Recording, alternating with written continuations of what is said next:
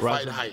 Razavan for Fight Hype. Yeah, fight hype. Let's go, champ. I'm with my man Shannon the Cannon. It's the champ. How we doing, Here Shan? comes the champ. It's the champ. Here comes the champ. It's the champ.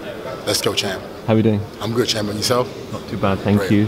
First press conference in the UK. Yes. Uh, today, obviously, we're at the David Haye, Arnold the Cobra Ooh, presser the Cobra. At the O2 Arena. Yeah. I am the O2. greatest Muhammad Ali's exhibitions also. Going on over here. Yes, brother. Um, yes. how did that go for you? Uh, it was great for me. I was a little surprised that I was first. It was like sudden. I didn't. I wasn't prepared. But I'm just, you know, off the top anyway, so it doesn't matter. I feel great. I'm happy to be here. Um, it's a great venue. Uh, I was here for the Joshua fight when he won the title, and it was just um, amazing electricity in the air. So for me to be fighting here in the birthplace of boxing, London, England, England, the birthplace of boxing, this is great for me. I feel great. I know you've obviously travelled around the world. You've fought in many different countries. You've fought some big, big fighters: George Foreman, Lennox All Lewis. of them. Um, All of them. You've never fought in England. Never Are fought. are you in looking forward to the atmosphere on Saturday Ooh, I can't wait, champ. It's gonna be electric. All the energy coming out. I'm gonna be coming out. Champ, champ. You're gonna see me. Everybody gonna go crazy. It's What- What's the got ring a ring wall, ring music?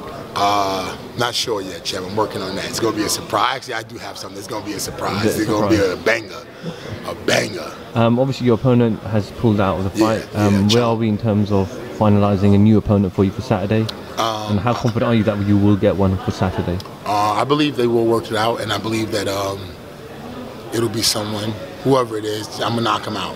Like I said earlier, I'm gonna knock him out. When I knock, I'm gonna hit him so hard, I'm gonna knock his corn out. yeah, champ.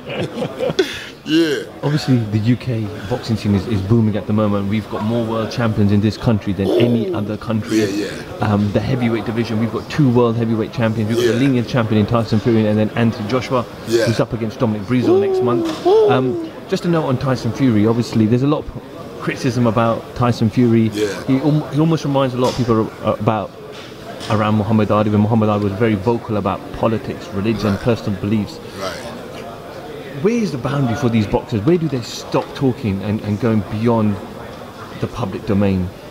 Um, I'm not sure, champ. You know, I'm just here to have a good time and have fun and hopefully inspire and motivate people to uh, not give up on their life.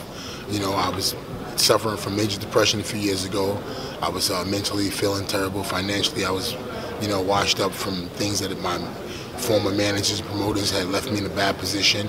And, and so I felt like, you know, I was giving up on life and I had ballooned up to 400 pounds.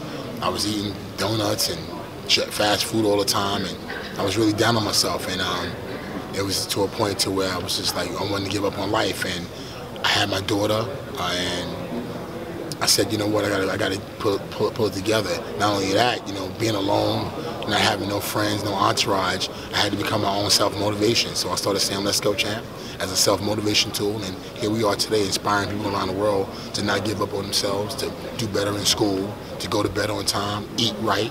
You know what I'm saying? Change, change bad habits. Stop hanging around negative people, and just doing what they got to do to become the champ they are. Everyone's a champ. You just got to bring it out, champ. You know that, champ. Absolutely. Let's go, champ. I'm trying to find the, obviously, uh, you mentioned about depression and, and four years out, and, and you, you know, you, you grew Yeah. in size to 400 plus pounds. Yes.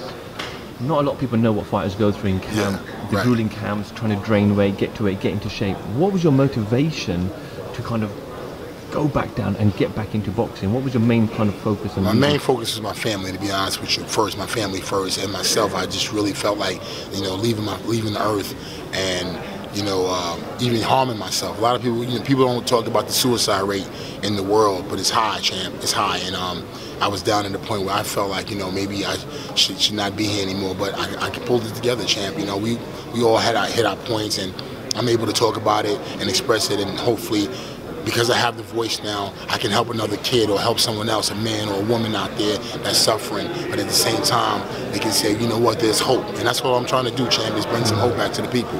The people's champ, Shannon the Cannon, two-time heavyweight champion of the world. And that's right, I'm back.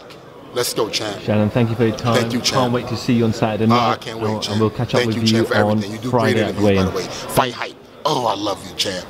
Let's go, champ. Thanks for looking at razorbanfight.com.